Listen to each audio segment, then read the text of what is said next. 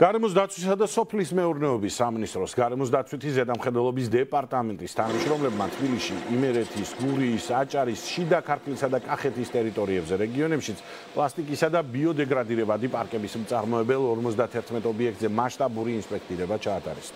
37 ობიექტზე სამართალდარღვევები გამოვლინდა. გარემოს დაცვითი ზედამხედველობის დეპარტამენტის თანამშრომლებმა ჯამში დალუქეს 3.529.675 ცალი და 23.378 კილოგრამი პარკი, 60 ცალი და 8.836 კილოგრამი რულონი ეგრეთ წოდებული და პარკებით სავსე 1501 ცალი ტომარა.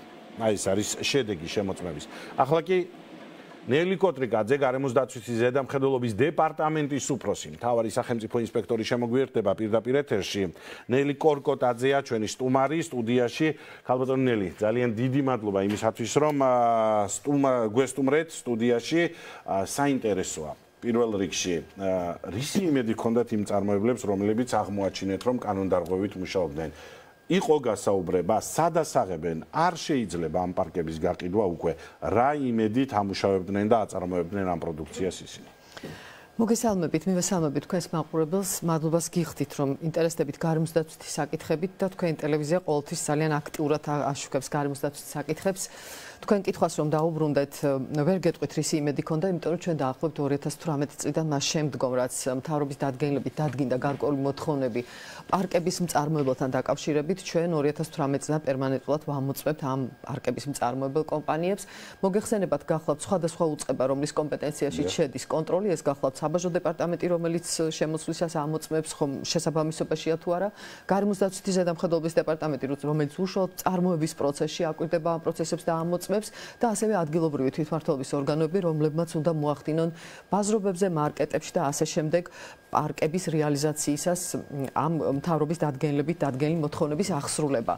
ვერ გეტყვით კიდევ ერთხელ გამეორფრ ის იმედი ქონდათ იმიტომ რომ ჩვენ ყველა ჯერზე რა დროსაც კი განვახორციელებთ ინსპექტირება ყველა ჯერზე მათ მიმართ გვაქვს გატარებული კანონდელობით დადგენილი ყველანაირი რეაგირების ზომები და სამწუხაროდ ეს ბიზნესი თითქოს თავიდან იყო ძალიან ისეთი მობილიზებული რომ გადავიდოდა ფაქტობრივად იმ მოთხოვნებზე რა მოთხოვნებსაც აწესებდა ნაწილობრივ გარკვეული კომპანიების ნაწილი გადავიდა კიდევაც მათ შესაბამისობაში მოიყვანეს თავიანთი ტექნოლოგიური პროცესები თუმცა სამწუხაროდ ჩვენ მაინც აღმოვაჩინეთ რომ შეუსაბამო 51 ობიექტია და 37 ცუდი რაოდენობა საკმაოდ დიდი რაოდენობა.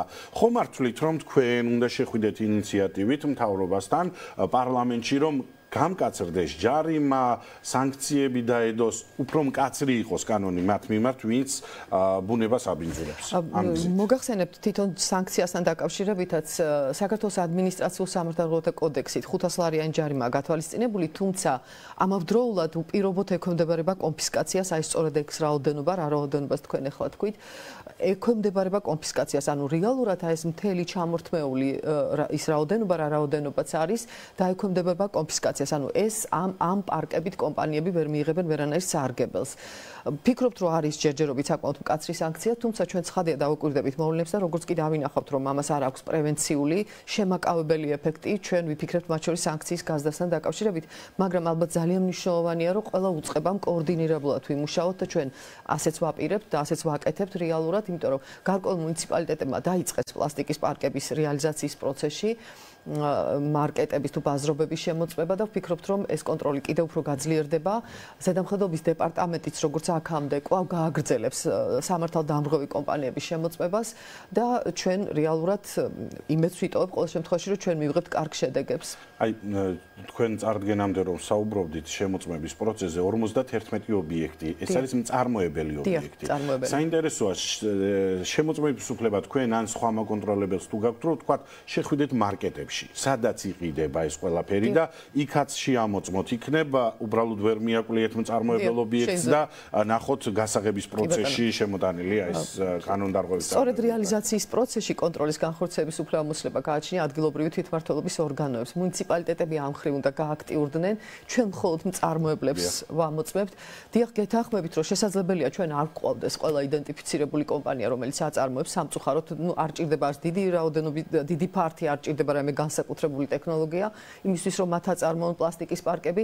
ამიტომ ჩვენ ნუ პერმანენტულად ვცდილობთ რასაკვირველია რომ იდენტიფიცირება მოვახდინოთ, ვინ შეიძლება იყოს ეს კომპანია, რომელმაც შეიძლება აწარმოოს შეუსაბამო პარკები, მაგრამ თქვენ ახსენეთ, რომ დიახ, მნიშვნელოვანია ყველა უצება, რომელიც არის პასუხისგებელი ამ თავრობის დადგენილებით განსაზღვრული მოთხოვნების ახსოვებაზე იყოს საკმაოდ აქტიური ამ მიმართულებით და ეს ყველაფერი რეალურად უკავშირდება იმას, რომ ჩვენ გარემო არ მივიღოთ დამიძურებული პლასტიკით და პირველ რიგში სწორედ ამ მიზანს ემსახურება აი ამ მოთხოვნების შემოღება ქვეყანაში. ქალბატონელი, მე უბრალოდ ვეძებ მიზეს და გამოსავალს, რატომ უნდა მიდიოდნენ ეს კომპანიები დარღვევაზე.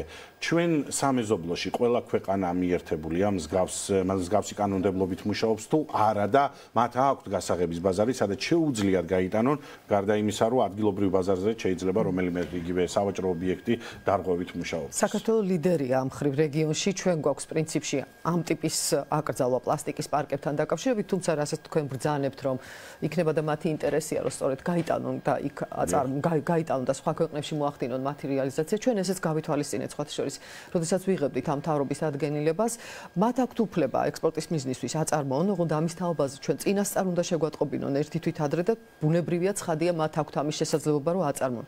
სამწუხაროდ ამ დაგვარი შეეტყობინება ზედამხედველობის დეპარტამენტში რომ ამ მიზნებისთვის აწარმოებენ ისინი პროდუქციას ჩვენ არ მიგვიღია და აქედან გამომდინარე ყველა ეს პლასტიკის პარკი გათვლილი იყო ადგილობრივი ადგილობრივი ბაზარზე რეალიზაციისთვის.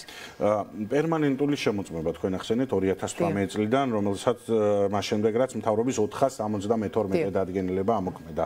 ეს არის პლასტიკისა და ბიოდეგრადირებადი პარკების რეგულირების წესის დამტკიცების შესახებ კანონი, რომელიც კრძალავს გარკვეულ შეზღუდვებს აწესებს ამ მიმართულებით, რომელზეც საუბრობთ.